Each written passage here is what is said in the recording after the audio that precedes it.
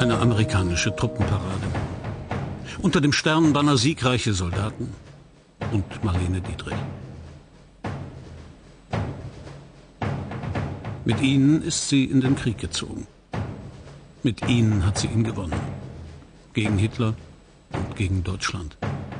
In ihrer Heimat hat man sie dafür zur Verräterin gestempelt. Für die Sieger ist sie eine Heldin.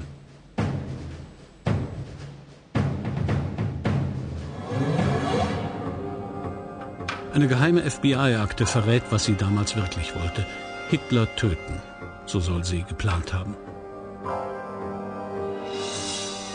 Begegnen wird sie ihm nie, aber er wird alle ihre Filme sehen und er wird versuchen, sie für sich zu gewinnen. Viele amerikanische Filme liefen ja bei uns so, die in der Öffentlichkeit nicht liefen, auch englische. Und da hat er die Marlene Dietrich, also beruflich, Schauspielerin, hat er die immer gelobt. Nicht?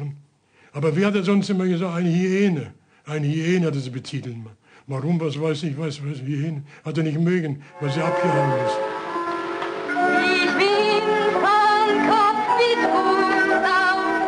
So kennt man sie in Deutschland. Mit Emil Jannings spielt sie im Film Der blaue Engel. Marlene, die Verführerin. Marlene Dietrich Collection in Berlin. In diesem Archiv lagert alles, was Marlene seit dem Beginn ihrer Karriere gesammelt hat. Und sie sammelte alles. Zehntausende von Alltagsgegenständen, Kleidern, Dokumenten, Erinnerungen. Ein ganzes Leben verpackt in Archivkartons.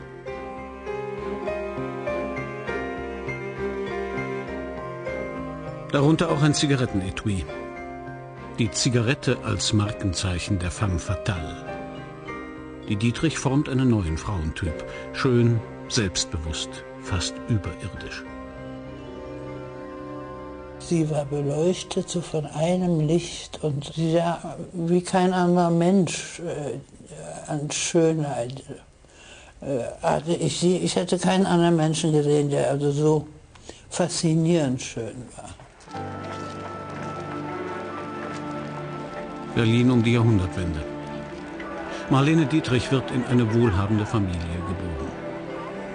Die Geburtsurkunde nennt ihren Taufnamen. Marie Magdalene Dietrich, geboren am 27. Dezember 1901.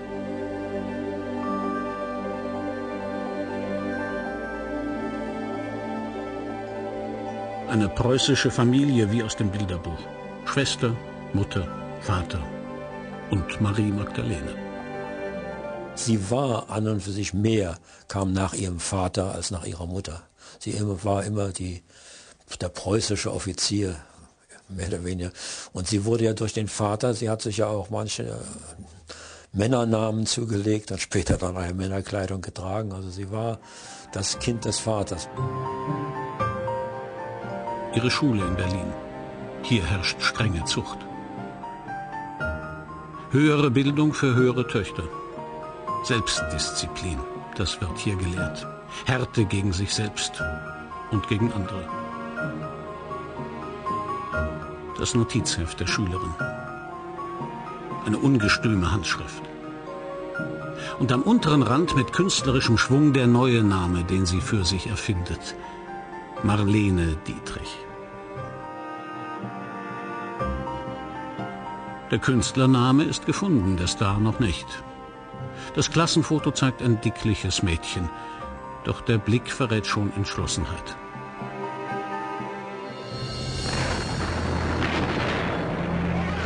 Der Erste Weltkrieg verändert auch Marlenes Welt. Ihr leiblicher Vater Louis Dietrich ist schon tot. Ihr Stiefvater, der Offizier Eduard von Losch, fällt an der Front.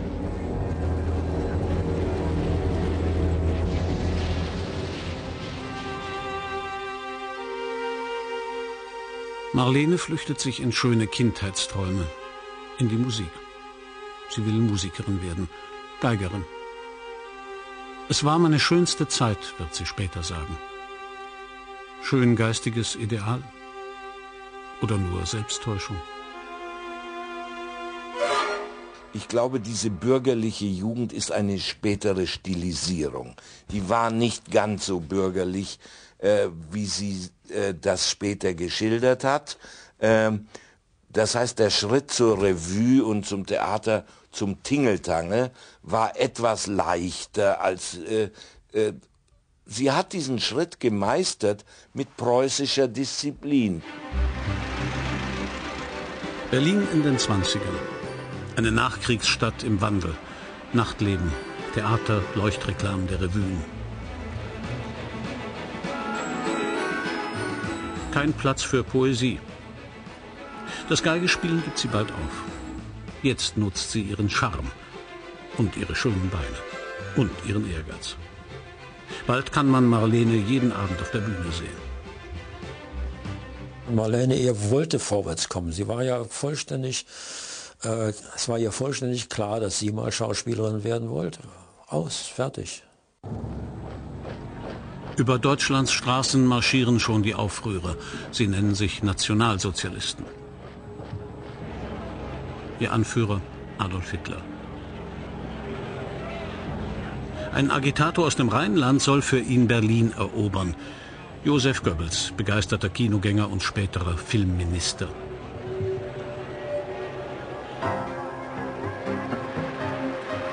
Magie eines neuen Mediums. Die Kinokassen klingeln umso lauter, je trostloser die Realität ist. Eine aufstrebende Branche. Auch für Marlene. Ihre erste Stummfilmrolle 1922.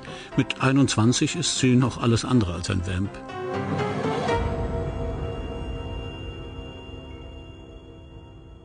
Sie hat versucht, in den äh, Stummfilmen und in den frühen Tonfilmen Verzweiflung zu spielen oder äh, Hilflosigkeit oder sowas.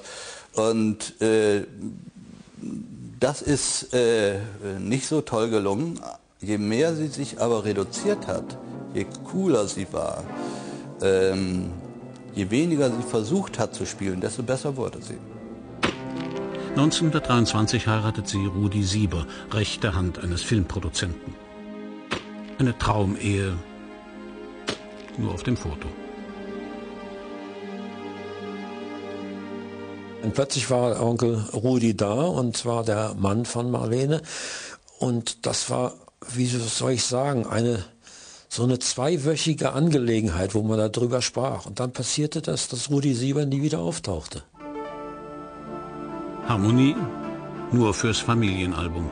Nach der Geburt der Tochter Maria ein Jahr später steht die Ehe nur noch auf dem Papier. Andere Männer, andere Frauen und die Karriere. Der deutsche Film sucht neue Gesichter. Marlene wird in 16 Stummfilmen spielen. Bis zu dieser entscheidenden Tonfilmprobe. Film 701, Sternberg, Frau Dietrich, 195, Aufnahme 3. You're the cream in my coffee, you're the salt in my stew. Nochmal.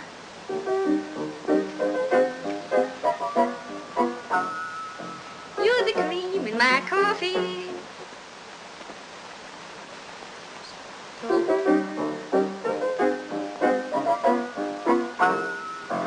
You're the cream of my coffee, you're the salt in my stew.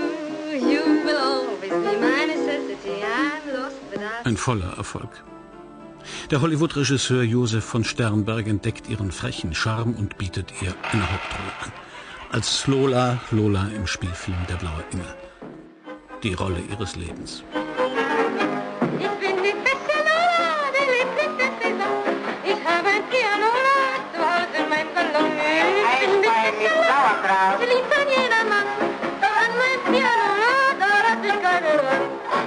Man hat Marlene immer geglaubt, was sie gespielt hat. Sie hatte auch als Frau eine ganz, ganz starke Ausstrahlung. Sie war ja das, was wir heute unter sexy verstehen. Das war sie hundertprozentig. Gleich nach der Uraufführung verlässt Marlene Berlin. Sie ist ein Star, auch für Hollywood. In Übersee lässt sie sich von der Paramount engagieren. Keine Entscheidung gegen Deutschland, sondern eine für ihre Karriere. Jeder, der die Möglichkeit dazu gehabt hat, hätte es sicherlich gerne getan, aber es war nicht so einfach. Ja, die hatte das Glück, dass sie also mit dem Sternberg nach, nach Amerika gegangen ist und hatte das Glück, dass man sie da, dort auch hat arbeiten lassen. Das Glück einer Karriere und das Glück, Deutschland vor 1933 zu verlassen. Marlene tritt fast schüchtern in die neue Welt ein. Als Geschöpf ihres Meisters Josef von Sternberg. Er wird sie berühmt machen und zum Mythos stilisieren. Ihr erster Film in Hollywood, Morocco. Marlene als Vamp in Männerkleidern. May I have this? Of course. Eine Versuchung für Männer und Frauen. Morocco wird ein Welterfolg. Doch eine Sehnsucht bleibt. Sie hat selbst in Hollywood gesagt, also ich muss wieder nach Deutschland, also 32. Die Leute wollen, dass ich auf Deutsch spreche und äh, die wollen mich in deutschen Filmen sehen. Es war ja auch nicht so, dass der deutsche Film irgendwie schlecht gewesen wäre. Also man denkt mal an Fritz Lang, der hat dort Filme gedreht, an G.W. Papst und so weiter. Der, der deutsche Film hatte ja Weltgeltung 1932. Und das alles war ja dann 1933 wie weggeblasen. Berlin 1933. Die Nacht der Machtergreifung. Im Fackelschein marschiert Hitlers SA. Siegesstimmung.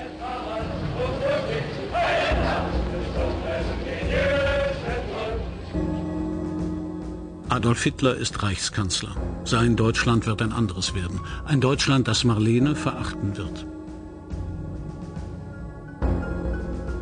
Antisemitische Hetzparolen auf den Straßen von Berlin. Viele von Marlenes Freunden sind Juden. Rudi Sieber schickt ein Telegramm. Situation Berlin fürchterlich. Juden unserer Branche Paris, Wien, Prag. Jetzt ist Deutschland kein Land der Sehnsucht mehr. Sie hat das nicht, nicht gut geheißen, was hier die Nazis gemacht haben. Und hatte die Möglichkeit, dem zu entrinnen. Das kann man ihr nicht übel nehmen und auch nicht als Vaterlandsverräterin auslegen. Das ist Quatsch. Marlene ist alles andere als ein politischer Aktivist. Sie ist leidenschaftliche Arbeiterin in der Traumfabrik Hollywood. In einer bonbonfarbenen, isolierten Welt, deren Studiotore sorgsam bewacht werden. Hier werden Filme industriell produziert, in gigantischen Studios. 1936. Immer aufwendiger werden die Produktionen. Für den Film The Garden of Allah hat man eine Zeltstadt in die Wüste gesetzt. 250 tapfere Hollywood-Pioniere, so schwärmt der Kommentator, machen sich auf in die glutheiße Wüste. Auch Marlene Dietrich. Für die Schauspielerin ist es eine schwere körperliche Belastung. Marlene kann in dieser Welt bestehen. Makellose Schönheit bei 40 Grad im Schatten preußische Tugenden? Sie war ja sehr organisiert. Manchmal zu viel organisiert. Das weiß ja jeder. Also wenn sie irgendwo hinkam, dann hat sie erstmal sauber gemacht. Nicht? Das wurde also erstmal, stand Marlene Dietrich da und äh, machte wirklich alles sauber, aber auch alles. Einer von den vielen Koffern der Marlene Dietrich. Ein Koffer nur mit Pflegemitteln für ihr Haar. Der Kampf der Marlene ist der Kampf um Perfektion.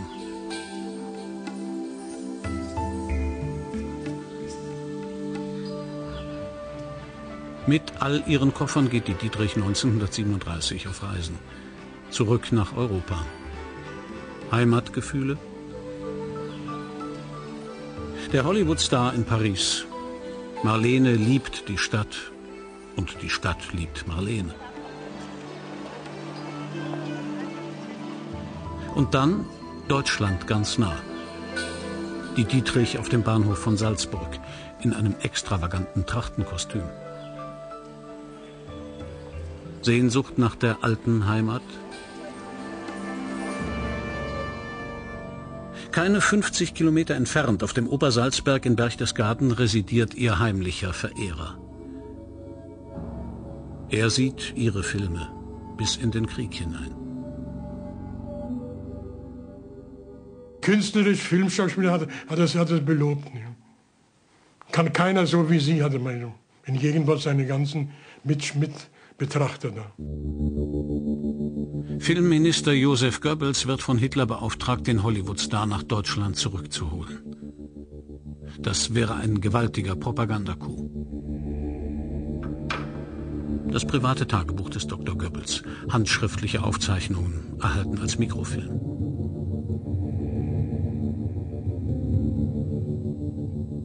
In seinem Tagebuch notiert er über seine Bemühungen um Marlene.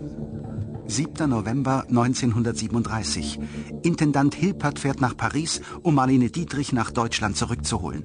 Das wäre für uns ein großer Gewinn. 12. November 1937. Marlene Dietrich kann erst in einem Jahr in Berlin auftreten, aber sie steht fest zu Deutschland. Illusionen. Marlene vertröstet geschickt die Liebeswerbe aus dem Nazireich, diplomatisch auf das Wohl ihrer Mutter in Berlin bedacht, ohne Goebbels zu verärgern. Persönlich schreibt sie, leider treffen derzeit nicht möglich da lange Verträge, gezeichnet M.D. Später wird sie kokettieren, wenn ich gegangen wäre, dann hätte ich ihm vielleicht alles ausreden können. Ihm, Hitler? Krieg und Holocaust? Offiziell war nichts bekannt. Also ich kann mich daran nicht erinnern, wenn ich, soweit ich äh, dann später Zeitung gelesen habe, nie etwas davon gelesen. Und das ist ja klar, die, würden ja, die Nazis würden ja nie bekannt gegeben haben, dass Marlene Dietrich es ablehnt, den Angeboten aus Deutschland zu folgen. Die Nazis. Tag der deutschen Kunst in München. Die Kunst steht vor dem Führer stramm und hat sich vom Rest der Welt abgekoppelt. Viele große Künstler sind längst emigriert, haben Berufsverbot. Auch Filmschauspieler und Regisseure. Was Kunst im Deutschen Reich ist, bestimmt jetzt Hitler allein. Warum sollte Marlene zurückkehren? Sie weiß, was sie erwartet.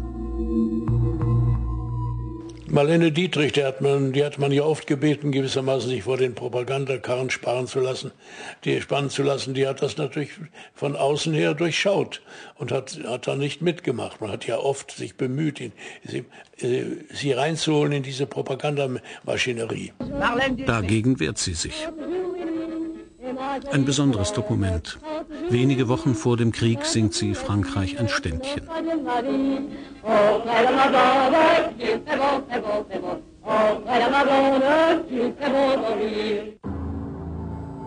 Eine demonstrative Botschaft auch an ihn, der jetzt den Weltenbrand entfesselt.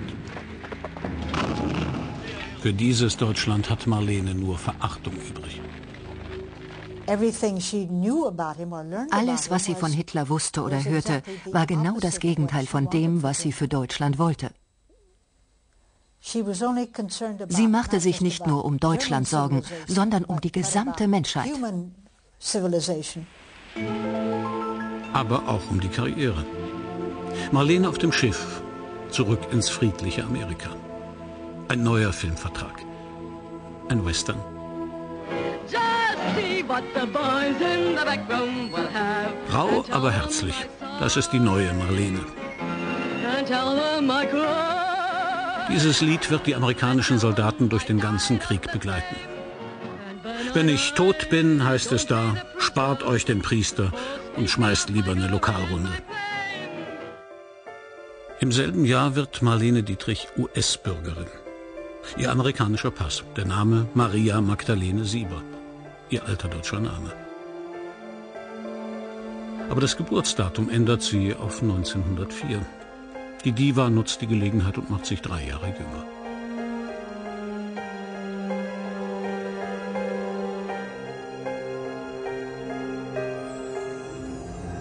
Eine Geheimakte des FBI. Amerika misstraut seinen deutschen Neubürgern. Die Dietrich ein Spion? Hunderte Seiten Verdächtigungen und Spitzelberichte. Einem Agenten erzählt sie, sie halte Hitler nicht für einen normalen Menschen, aber sie wisse, dass er ein Faible für sie habe. Und sie für ihn? Die Agenten zweifeln.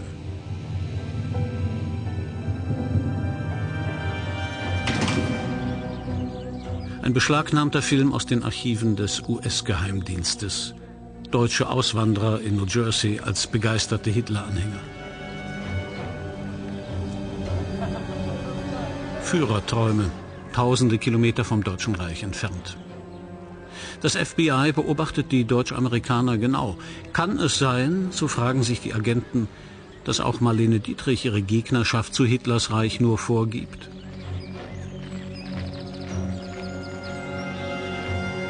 Eine abschließende Notiz von 1967. Sie hatte nie Sympathie für Nazi-Deutschland, heißt es da. Jetzt ist es amtlich. Marlene Dietrich, Hitlers Gegnerin.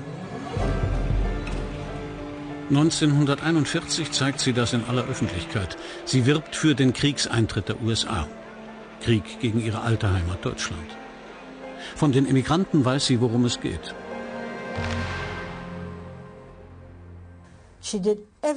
Sie tat alles, um den Emigranten zu helfen, die vom Regime verfolgt in den Konzentrationslagern gewesen waren. Sie half gemeinsam mit anderen Leuten in Hollywood.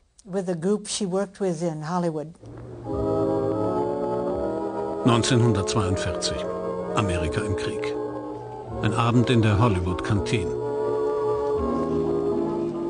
Truppenbetreuung mit Glanz und Glamour. Und Stars. Marlene Dietrich ganz nah mit jungen Soldaten, die morgen in den Krieg ziehen werden. Zärtliche Umarmung vor den Kameras der Wochenschau. Ernst gemeinter Trost? Oder nur die Pose eines Stars?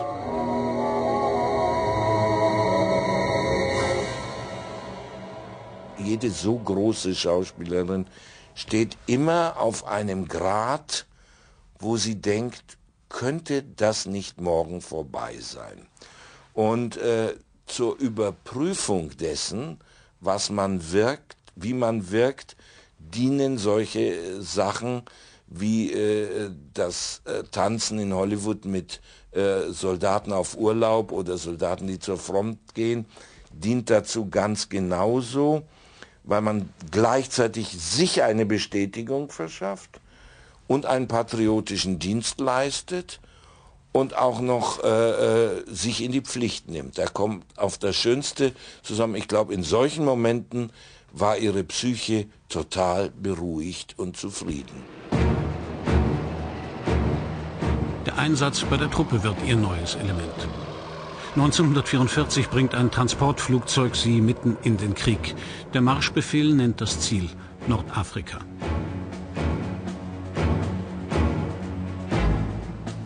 Marlene Dietrich zieht jetzt in ihren persönlichen Krieg gegen Hitler. An die Front. Aus Anstandsgefühl wird sie später sagen. Die Diva wird Soldat.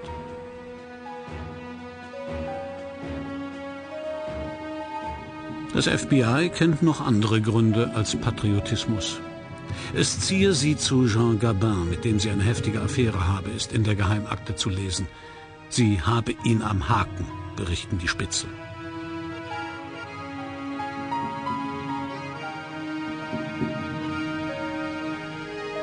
Zwei Stars in Uniform. Der Krieg führt sie so seltsam und so kurz zusammen.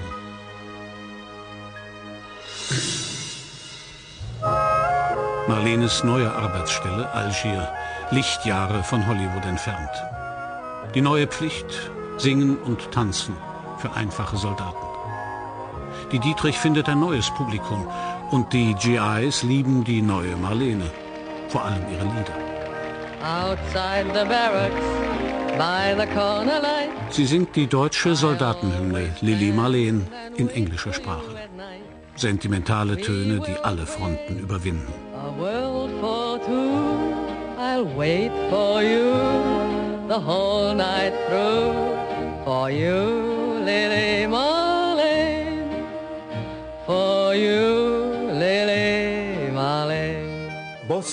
Beide Seiten haben es geliebt.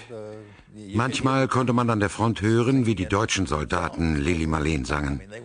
Und wir haben zur gleichen Zeit die Version von Marlene gehört. Die italienische Küste.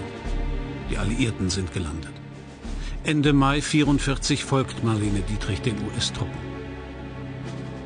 Jetzt ist sie in der Kampfzone, oft unmittelbar vor den Linien der Wehrmacht, in der ihr Neffe dient. Die Wirklichkeit des Krieges. Marlene besucht Lazarette und Krankenhäuser. macht den Verwundeten Mut. Mit Hollywood-Lächeln und preußischer Disziplin. Man fragte sich, warum sie an die Front kam, freiwillig. Denn es war wirklich gefährlich für sie. Vielleicht wollte sie etwas klarstellen. Es hat uns wirklich überrascht, dass sie kam. Vor allem, weil sonst keiner kam. Surprised me that she came, especially since nobody else did. Here she is, lovely Miss Dietrich. Hello, boys. I want to say that sharing this Sommer 44. Gerade ist Marlene von einer schweren Lungenentzündung genesen, die sie sich an der Front zugezogen hatte. Das Mikrofon als Waffe gegen Hitler. Lässig verkündet sie, dass der Sieg in Italien unmittelbar bevorstehe. Krieg auf amerikanische Art, mit der passenden Begleitmusik. Marlenes Western-Hit als Stimmungsmacher. Goodbye. Good luck. What the boys in the back room will have and tell them I'm having the same. Aber Zehntausende sterben beim Vormarsch auf Rom. Und die große, erbitterte Schlacht steht noch bevor.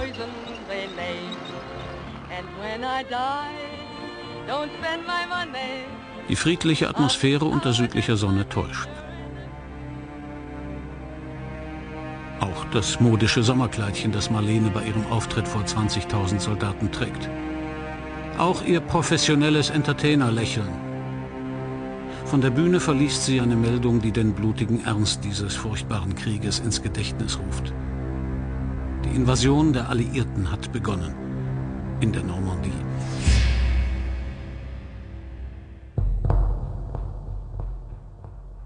D-Day. Der tödliche Streich gegen Hitler-Deutschland. Doch im Feuer der Wehrmacht lassen am ersten Tag zweieinhalbtausend alliierte Soldaten ihr Leben. Hohe Verluste. Können andere Strategien sie verringern? Washington, D.C., amerikanisches Nationalarchiv. Im Bestand des militärischen Geheimdienstes eine besondere Akte, ihr Codename Music Project. Die detaillierte Beschreibung eines ungewöhnlichen Auftrags und im Zentrum dieser Operation ein Star. Marlene Dietrich. Ziel des Geheimunternehmens Demoralisierung der deutschen Wehrmacht. Sentimentale Lieder mit deutschen Texten sollen die Kriegsmüdigkeit von Hitlers Truppen fördern. Schallplatten für einen Geheimsender. Musik, die die Ohren deutscher Soldaten erreichen soll. Marlene singt von Tod und Untergang. Nun kam die Erntezeit, nun blüht der Mond so rot. Und dort am Waldersrand, da wartet der Tod. Er schaut mich an und ich habe Angst um dich. Auch Marlene kennt dieses Gefühl. Denn die Bomber der Alliierten, die jeden Tag Kurs auf Deutschland nehmen, erreichen auch Berlin. Erreichen auch das Haus ihrer Kindheit. Erreichen auch ihre Mutter, die immer noch in Hitlers Hauptstadt lebt. Sie war dankbar, dass die Amerikaner sie aufgenommen hatten, dass die Amerikaner ihr ein sogenanntes Asylrecht gewährt haben. Und sie hat dann noch hinzugefügt, können Sie sich denn nicht vorstellen, was es bedeutet, wenn man in Amerika in absoluter Sicherheit lebt und man weiß, dass in Berlin die Mutter geblieben ist und dass sie den Bombeneinsätzen der Alliierten ausgesetzt ist und man dennoch wünscht, dass nicht die Deutschen, sondern die Alliierten diesen Krieg gewinnen, damit endlich Frieden herrschen kann und die Deutschen von diesem System, von dem sie sich nicht selbst befreien konnten, durch die Alliierten befreit werden. Das waren so in etwa sinngemäß ihre Worte. Das befreite Paris im August 44. Alles fast wieder wie vor dem Krieg. Paris, die Stadt der Flaneure und der Liebenden. Marlene sieht den Schriftsteller Ernest Hemingway wieder. Er nennt sie liebevoll mein Crowd, sie ihn den Papst meiner persönlichen Kirche. Zwei Amerikaner in Paris.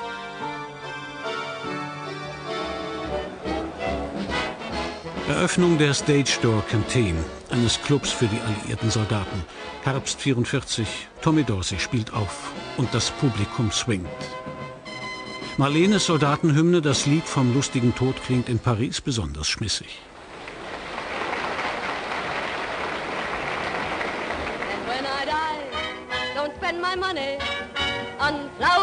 Picture in a frame.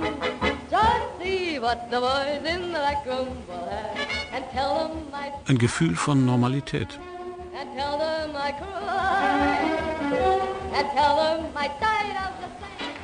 Der braune Albtraum, jetzt wird er weggesungen. Sie holte sich einen unserer Jungs auf die Bühne, tanzte mit ihm herum, sehr eng, rieb sich an ihm und brachte seine Hormone in hormones. Und unsere auch. Sie hat ihn wirklich heiß gemacht. Und spätestens da tobte der ganze Saal. About that time, the whooping and hollering started. Marlene Dietrich, die Soldatin. Eine Frau unter Männern. Ein Star. Eine Siegerin.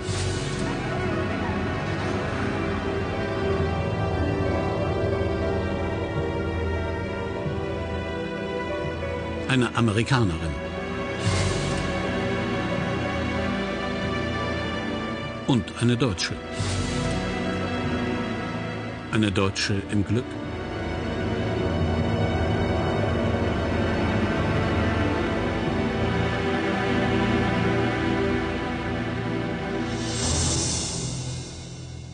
Ich glaube, sie hat es genossen. Sie hat es genossen. Sie hat das Bad in der Menge genossen. Sie konnte sich das Leben nur in Beziehungen inszenieren. Es gab nur heiß und kalt, es gab nur Nähe oder Entfernung. Und äh, äh, wenn Sie so wollen, ist Ihre Geschichte mit Deutschland auch eine Liebesgeschichte mit einer mit einem frühen Liebesglück, blaue Engel, mit einer langen Trennung und mit einer nie geglückten Heimkehr. Die Heimkehr in einem amerikanischen Jeep ist eine Heimkehr in ein fremdes Deutschland. Ein zerstörtes Deutschland. Die Menschen, die ihr begegnen, sind vom Krieg gebrochen. Eine geschlagene Nation. Nicht nur Soldaten und überzeugte Nazis, auch ganz normale Deutsche sind es, die jetzt für Hitlers Wahn bezahlen müssen.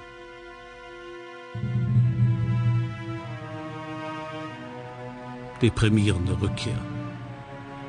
Und auf noch Schlimmeres fährt Marlene an diesem Frühlingstag zu. Sie kam in einem Jeep, trug einen amerikanischen Stahlhelm und fragte nach dem Hauptquartier. Natürlich wurde jeder amerikanische Offizier dorthin gebracht. Ich sagte routinemäßig, okay, bringt ihn rein. Nein, es ist eine Frau, sagten meine Leute. Da war ich überrascht. Das Konzentrationslager Bergen-Belsen. Marlene besucht dieses Lager des Grauens, weil sie hofft, hier ihre Schwester wiederzufinden. Als Häftling, wie sie vermutet. Doch in Wirklichkeit hat die Schwester eine Kantine der Wehrmacht betrieben, ganz in der Nähe des Lagers. Die Schwester, sie entpuppt sich als deutsche Mitläuferin. Niemals wird Marlene ihr verzeihen. Und niemals wird sie vergessen, was sie an diesem Tage in Bergen-Belsen sieht.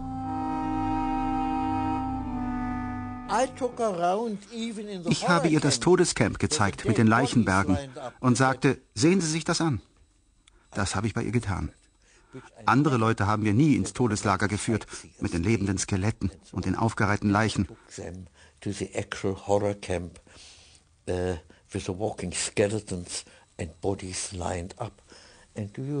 Und bedenken Sie, man muss das wissen, die Toten wurden mit Bulldozern in Massengräber geschoben.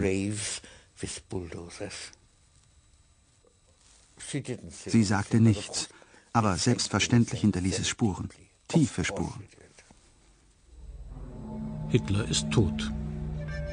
Und das Bild, das so viele deutsche Wände schmückte, ist jetzt das Ziel für Wurfpfeile. Doch es ist kein Spiel, was die Menschen im Nachkriegsdeutschland erwartet. Wenn ich mir was wünschen dürfte, käme ich in Verlegenheit, was ich mir denn wünschen sollte, eine schlimme oder gute Zeit.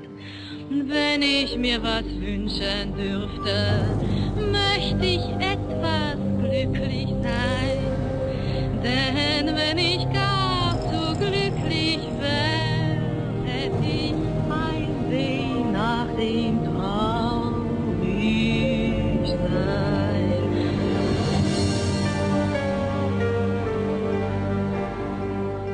Wenn ich mir was wünschen durfte, singt Marlene, und sie sucht in den Trümmern der Stadt nach ihrer Mutter. Wilhelmina von Losch hat überlebt, mit 69 Jahren. Und als sei die Umarmung nach 13 Jahren ein ersehnter Abschluss, schon wenige Monate später stirbt die Mutter, im kalten Winter 45.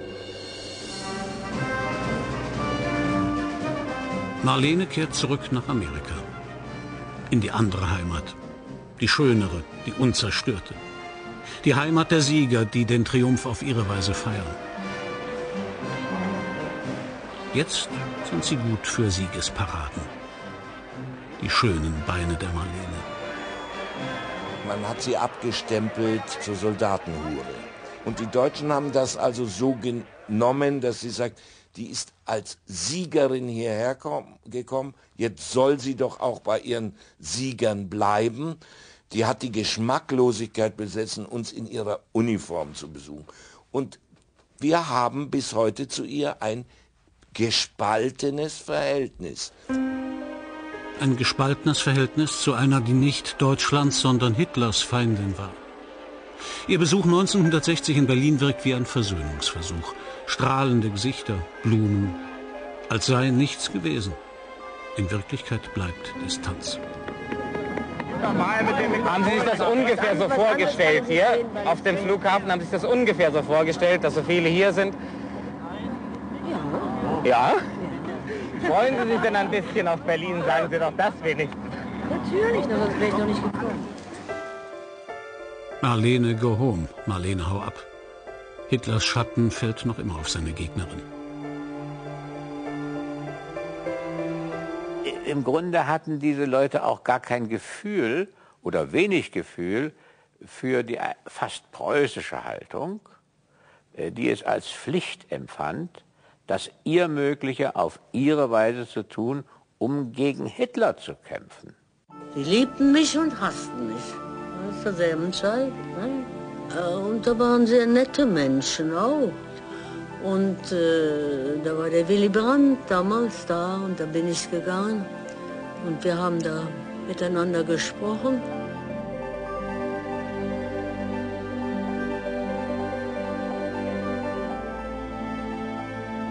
Und da war so eine richtige Frau, eine Berlinerin. Und die sagte zu mir, na, wir uns mal wieder vertragen?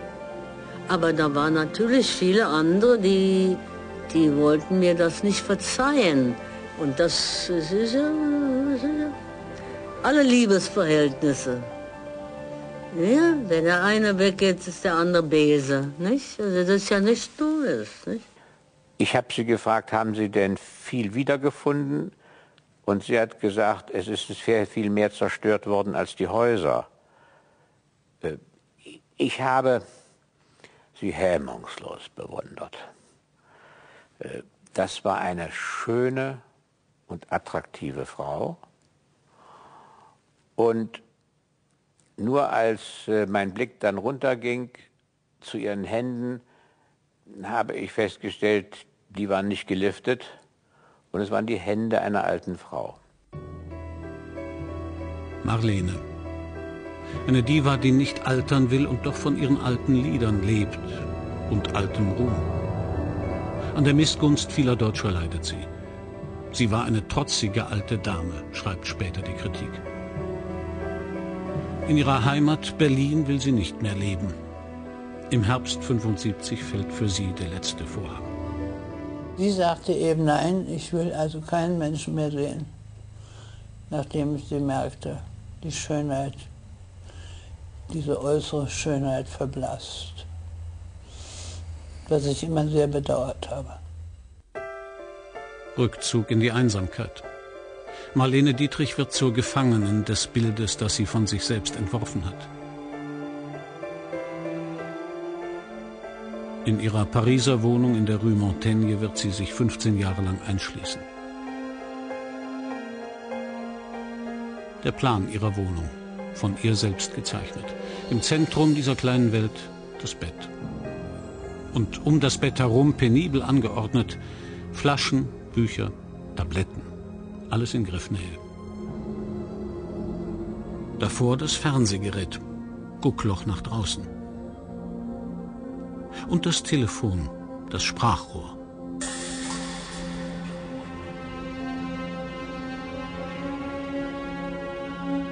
Niemals mehr wird sie sich in der Öffentlichkeit zeigen. Nur ihre Stimme dringt nach draußen. Auch die Antwort auf die Frage, die so viele Deutsche stellen. Wenn jemand ihnen sagt, da, da töten die da die Kinder, Hunderttausende von Menschen, ist, äh, braucht das da einen großen Mut, sich zu entscheiden, welche Seite man nimmt? Nein. Dass das Deutschland war, da konnte ich ja nun nichts helfen.